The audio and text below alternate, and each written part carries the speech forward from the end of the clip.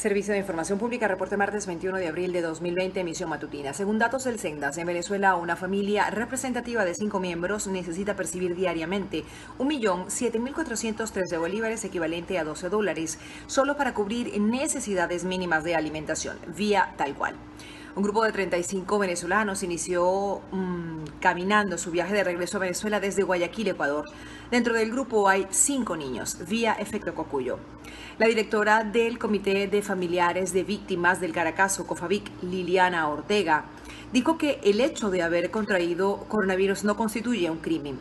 No es una situación que deba criminalizarse ni promoverse por ningún medio, dijo la abogada, vía runrunes.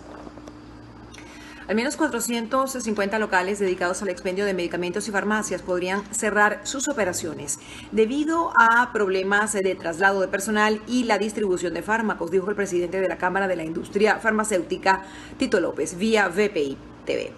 Según el periodista Javier Ignacio Mallorca, ayer lunes fueron sacados de sus celdas en Ramo Verde el coronel de la Guardia Nacional, Pedro Zambrano Hernández, y el capitán de la Guardia Nacional, Jesús Alarcón Camacho. El coronel habría sido llevado a Boleita, a la sede de la Dirección General de Contrainteligencia Militar, y del capitán se desconoce su paradero. La Red Liberal de América Latina calificó a Venezuela por tercer año consecutivo como el país con las instituciones más débiles del continente americano, al ubicarlo en el puesto 181 de 188 países evaluados por el índice de calidad institucional, vía tal cual.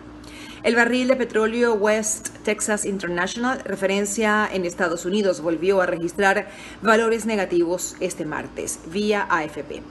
El presidente Donald Trump anunció la suspensión temporal de la inmigración hacia Estados Unidos a causa del coronavirus, vía Deutsche Welle. Y recuerden, para prevenir el contagio del coronavirus, lave sus manos regularmente con agua y jabón o con desinfectante de manos a base de alcohol.